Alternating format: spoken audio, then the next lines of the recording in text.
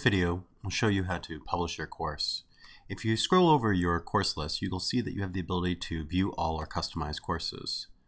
Um, once you select that link uh, in the upper uh, left-hand corner, you'll notice that you'll have uh, a series of courses that are listed under My Courses, including uh, the courses that you'll see for the current term, 2015 to 2016.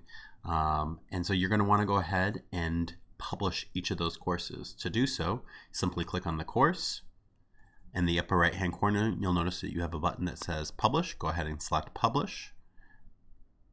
And once it's published, you'll see up here in the top corner, course was successfully updated.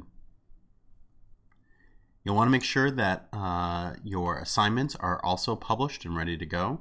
So you'll notice here that uh, all these uh, assignments were already published because they have the green cloud next to them.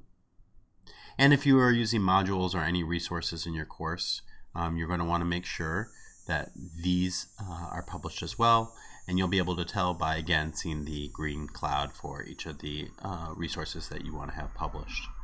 You'll know that your course has been published because when you're on the uh, home page of your course you'll see that it says published and then as you go through and repeat the process for all of the other courses you'll notice that it will change from unpublished to um, not having any mark, uh, meaning that it is now a published course.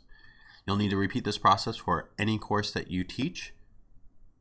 And then once you're done, you'll see that your list of courses are all marked as published.